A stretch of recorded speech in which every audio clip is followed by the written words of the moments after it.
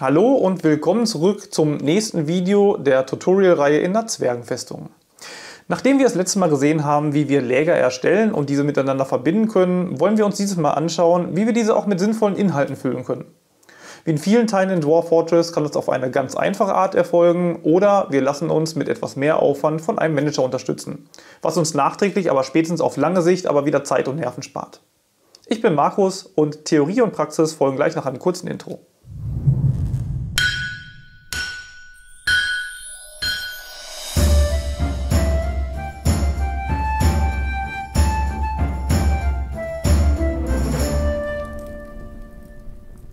Kommen wir erstmal zum theoretischen Teil. Gegenstände stellen wir in Workshops her. Diese finden wir im Baumenü unter Workshops. Zum Beispiel der Carpenter, also der Zimmermann, den wir schon im ganz frühen Anfangsstadium des Spiels gut gebrauchen können. Hier können wir Gegenstände zur Herstellungswarteschlange hinzufügen, zum Beispiel einen Stuhl. Sobald mehrere hinzugefügt wurden, können wir die Reihenfolge verändern, das heißt mit Promote Aufgaben vorziehen. Auch ist es möglich, einer Aufgabe höchste Priorität zuzuweisen, so dass selbst die derzeitige Aufgabe direkt liegen gelassen wird, um die priorisierte anzugehen. Brauchen wir von einem Gegenstand mehr als nur einen, können wir ihn entweder mehrfach in die Aufgabenliste aufnehmen, das heißt maximal bis zu 10 Mal, oder wir deklarieren die Herstellung als eine sich wiederholende Aufgabe. Die Zwerge beschäftigen sich mit wiederholenden Aufgaben allerdings nicht unendlich lange und lassen dafür alle anderen Aufgaben liegen. Die Liste aller Aufgaben wird weiterhin von oben nach unten abgearbeitet. Wurde eine wiederholende Aufgabe bearbeitet, so rutscht sie in der Liste wieder ganz nach unten. So ist es auch möglich, mehrere sich wiederholende Aufgaben in der Aufgabenliste zu haben, so dass beispielsweise immer abwechselnd Betten und Türen hergestellt werden. Möchte man eine Aufgabe erstmal aussetzen, kann sie auch pausiert werden. Das ist bei wiederholenden Aufgaben vermutlich am sinnvollsten. Viele Aufgaben können, nachdem sie erstellt wurden, auch noch näher spezifiziert werden. Beim Zimmermann kann beispielsweise eingestellt werden, welches Holz zur Herstellung des Gegenstands verwendet werden soll. Um noch ein zweites Beispiel zu nennen, bei einer Schmiede kann bei der Herstellung eines Helmes bestimmt werden, welcher Kreatur dieser Helm später passen soll. Ich bin mir zwar selbst noch nicht so ganz sicher, zu welchem Anlass man das genau gebrauchen könnte, aber immerhin ist es möglich. In der Aufgabenliste kann man den Status der Aufgabe erkennen. Gibt es keine Markierung, ist es eine Standardaufgabe, die bald bearbeitet wird. Ein A markiert die gerade aktive Aufgabe. R steht für Repeat und ist damit bei wiederholenden Aufgaben zu finden. Pausierst du die Aufgabe, findest du ein S wie Suspend neben ihr. Wird eine Aufgabe mit Do Task Now mit hoher Priorität versehen, so wird sie mit einem Ausrufezeichen hervorgehoben. Es gibt noch einen weiteren Status, aber auf den komme ich gleich nochmal zurück. Um in einem Workshop Gegenstände möglichst schnell herzustellen, ist ein kurzer Weg für die Rohstoffe unerlässlich. Die Supply Chain Strategie habe ich im letzten Video vielleicht schon deutlich genug rübergebracht. Das heißt, ein spezifisches Rohstofflager direkt neben dem Workshop ist sehr sinnvoll. Problematisch wird es erst, sobald im Lager die Rohstoffe ausgehen. Sobald kein Rohstoff vorhanden ist, brechen die Zwerge die Aufgabe ganz einfach ab, selbst wenn es sich um eine wiederholende Tätigkeit handelt. Das kann ganz schön nervig sein, aber dem können wir mit einem Manager entgegenwirken. Ein Manager ermöglicht uns, statt Workshops einzelne Aufgaben zuzuweisen, Bestellungen aufzugeben und diese zentral zu verwalten. Zudem kann mit ihm auch erreicht werden, dass nicht jeder Hinz und Kunz in den Workshops arbeitet, sondern nur Zwerge, die über eine gewisse Grunderfahrung verfügen. Aber alles nacheinander. Ein Manager ist ein Administrator, welcher auch ein entsprechendes Büro verlangt, damit er seine Arbeit aufnehmen kann. Das Büro sollte mindestens aus einem Tisch und einem Stuhl bestehen. Ist das erledigt, können Bestellungen erstellt werden. Wir möchten beispielsweise 20 Betten herstellen lassen. Diese können wir dann als Bestellung im Workshop selbst für explizit diesen Workshop oder in der Manageransicht aufgeben. In der Manageransicht kann dann die Bestellung der Betten platziert werden. Der große Vorteil, hier platzierte Bestellungen werden automatisch auf alle gerade verfügbaren Workshops verteilt, um so eine parallele Produktion zu ermöglichen. Das kann bei Bedarf aber auch begrenzt werden, so dass nicht alle oder gar nur ein einzelner Workshop damit betraut wird. Aufgaben können auch hier in der Reihenfolge angeordnet werden. Zudem kann der Start der Produktion von bestimmten Bedingungen abhängig gemacht werden. Zum Beispiel möchten wir unsere Losgröße von 20 Betten erst dann bestellen, wenn ein Meldebestand von 10 Stück unterschritten wurde. Das ist wohl die typischste Anwendung der bedingten Bestellung, was auch dem Standardverfahren der realen Wirtschaft gleicht. Allerdings können damit auch deutlich komplexere Logiken und Abhängigkeiten erstellt werden, wie überprüfe einmal in jeder Jahreszeit, ob mindestens 10 Betten da sind, aber maximal 100 Äxte. Wenn dann noch die Produktion von 10 Eisenhelmen abgeschlossen wurde, stelle 10 Schilde aus Eichenholz her. Egal wie viel Sinn das jetzt ergeben mag, man kann es durchaus so konfigurieren. Die Bestellung wird dann Stück für Stück von den betrauten Workshops abgearbeitet, so wie gerade Rohstoffe und Arbeiter zur Verfügung stehen. Das bringt ein wenig mehr Transparenz in die Produktion. Die Bestellungen sind dann in den entsprechenden Workshops wieder zu sehen und, jetzt komme ich wieder zu den Statusflex zurück, sind hier mit einem O wie Order gekennzeichnet. Ein Manager muss aber jede Order vor Beginn erst in seinem Büro validieren und zudem die Voraussetzungen für den Job prüfen, was ein wenig Zeit kostet. Falls der Manager noch mit vielen anderen Aufgaben betraut ist und in der Weltgeschichte herumwandert, kann es auch schon mal etwas länger dauern, bis eine Produktion anläuft. Deshalb sollte man den Manager am besten etwas von anderen Aufgaben befreien. In den Workshops selbst kann durch die Arbeit des Managers nun auch noch ein Arbeitsprofil hinterlegt werden. Das ermöglicht uns erstens festzulegen, welche ausgesuchten Zwerge ganz allgemein mit den Aufgaben betraut werden dürfen. Sinnvoll, wenn wir nur ganz bestimmte Zwerge für die Aufgaben einsetzen oder eben andere ausschließen möchten. Zweitens, wie gut der Skill eines Zwerges mindestens und maximal sein muss, damit er in dem Workshop arbeiten darf. Damit kann zum Beispiel sichergestellt werden, dass in einem Ausbildungsworkshop Zwerge an eher unwichtigen Aufgaben zur Verbesserung ihres Skills arbeiten, während andere nur die Meisterstücke aus seltenen Materialien herstellen, die uns im Spiel wirklich voranbringen. Drittens kann eingeschränkt werden, dass nur ein bestimmtes Aufgabengebiet in dem Workshop zugelassen wird. Beim Zimmermann beispielsweise Zimmerei und Fallenbau. Viertens kann ein Workshop von globalen Bestellungen ausgenommen werden, so dass dieser immer frei ist für klassisch zugewiesene Aufgaben. Fünftens, falls globale Bestellungen zugelassen sein sollten, kann festgelegt werden, wie viele der globalen Aufgaben dieser Workshop maximal parallel annehmen bzw. bearbeiten darf. Schauen wir uns das Ganze nochmal nicht allzu tiefgehend im Spiel an. Als erstes erstellen wir einen Workshop, hier wie eben im Beispiel mit dem Carpenter.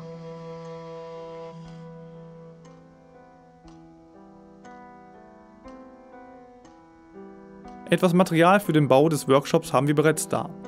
Jegliches Holz oder Stein reicht dafür schon völlig aus. Ich lege auch gleich zwei Läger an, um Rohstoffe und Fertigerzeugnisse getrennt zu lagern.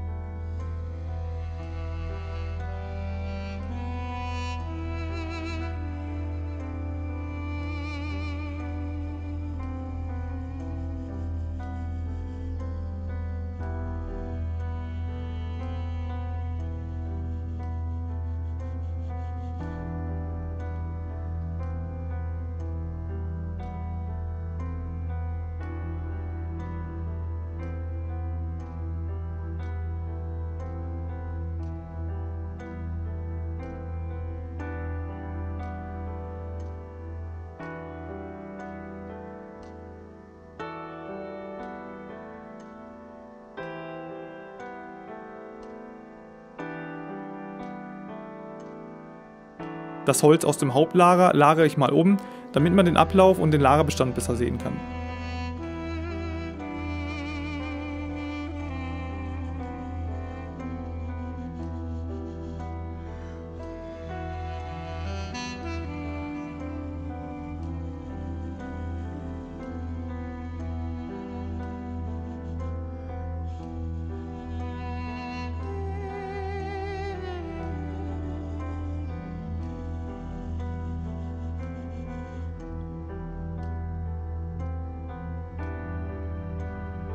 Nun, nachdem der Workshop fertig ist, stellen wir hier ein paar Aufgaben ein. Ein Bett, ein Stuhl, eine Tür und einen Tisch.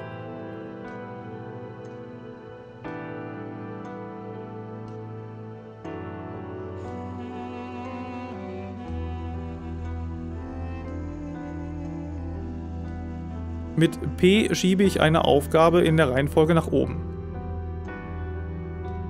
Wir warten kurz, bis ein Zwerg vorbeischaut, um die Gegenstände herzustellen. Nun arbeitet er an dem ersten Gegenstand, was wir an dem A erkennen können.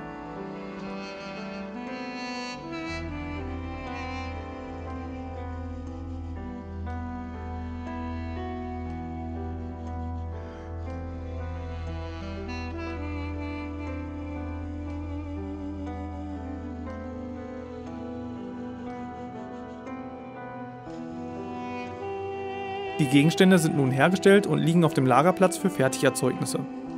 Ich füge nun drei weitere Tasks hinzu. Ein Bett, eine Tür und als letztes eine Kiste.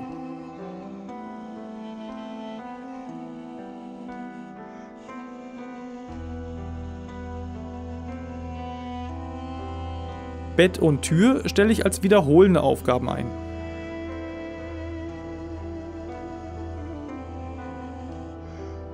Die Arbeit beginnt erneut.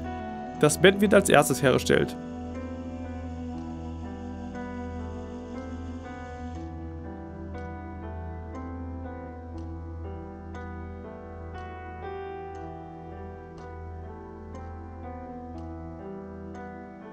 Nun, wo es fertig ist, verbleibt es in der Liste und ist nur von der ersten auf die letzte Position gewechselt. Das heißt, dass nach der darauf folgenden Tür die Kiste als weitere Einmalaufgabe dran ist.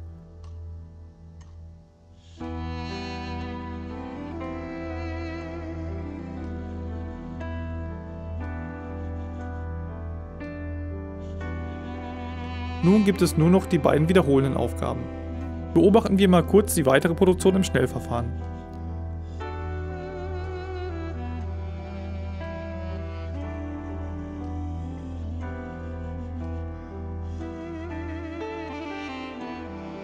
Nun ist uns das Holz ausgegangen. Die Produktion wurde einfach abgebrochen. Die Aufgaben wurden gelöscht. Momentan ist es sinnlos, neue Aufgaben zu vergeben, da auch diese sofort gelöscht werden würden. Wir gehen das Problem nun mit Hilfe des Managers an. Im Workshop ist auch der Hinweis hinterlegt, dass ein Manager benötigt wird, um Workshop-Profile zu ermöglichen. Ich rufe als erstes die Verwaltung der Administratoren auf. Beim Punkt Manager wähle ich einen Zwerg aus, der diese Position bekommen soll. An dem Require können wir sehen, dass es Anforderungen für diese Stelle gibt. Wenn ich mir diese mit Enter ansehe, kann ich erkennen, dass hier ein Mega Office, also ein spärliches Büro benötigt wird. Ich gehe also aus dem Menü raus und baue als nächstes Tisch und Stuhl in einen separat mit einer Tür versehenen Raum.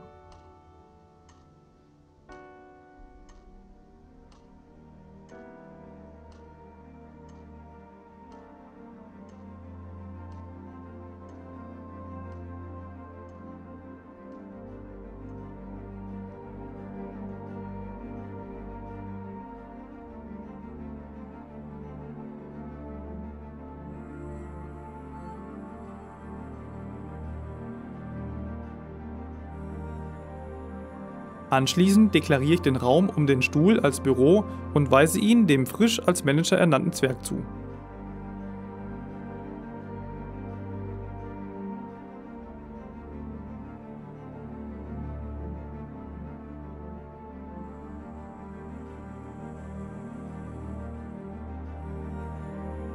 Schaue ich nun nochmal in den Administratoren-Screen, sehe ich, dass die Anforderungen erfüllt wurden.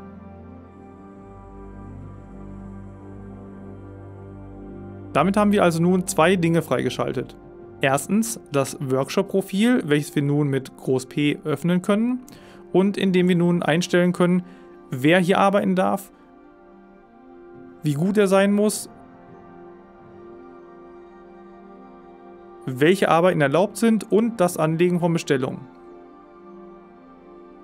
Und zweitens den Manager-Screen, welchen wir entweder über die Einheitenliste oder der Jobliste aufrufen können. Hier kann ich nun eine neue Bestellung aufgeben. Mit New Order bekomme ich eine Liste mit allen Aktionen oder herstellbaren Gegenständen präsentiert. Um die Liste zu filtern, tippe ich nun Wood ein und wähle ein Holzfass aus, gefolgt von der Anzahl.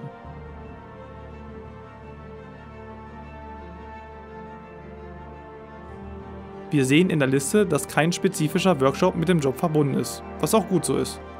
Ich könnte in den Jobdetails mit D nun das Material spezifizieren und dazu eine der zahlreichen Holzvarianten auswählen. Aber das ist gerade nicht so hilfreich für dieses Beispiel, daher breche ich diese Auswahl wieder ab. Ich füge nun zur Demonstration noch eine Bedingung hinzu. Wir wollen die Fässer nur herstellen, wenn weniger als 10 Stück verfügbar sind. Das soll monatlich geprüft und bei Erfüllung der Bedingung soll eine neue Bestellung generiert werden.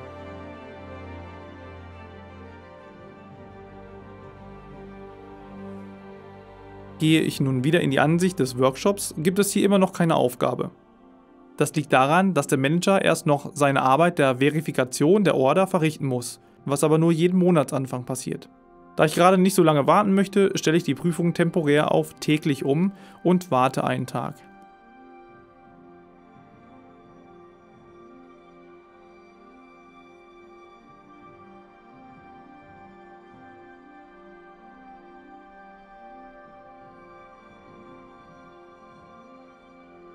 Nun sehen wir im Workshop eine Aufgabe, welche mit einem O versehen ist, woran wir erkennen, dass es eine Order vom Manager ist.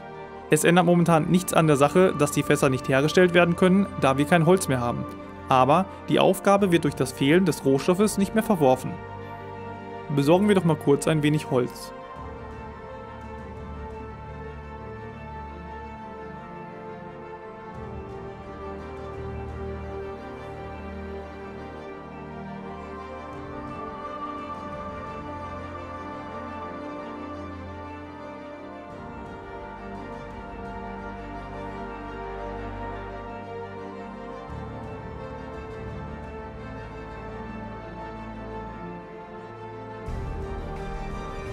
Und schon geht die Produktion los.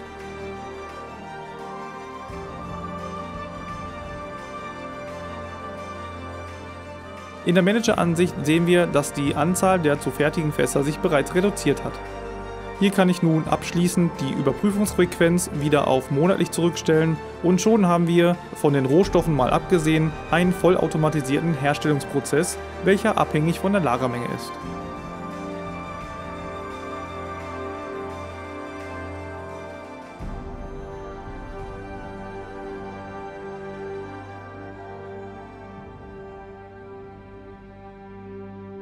Ich denke mal, dass die Zuweisung von Herstellungsaufgaben generell kein so schwierig zu verstehendes Thema ist.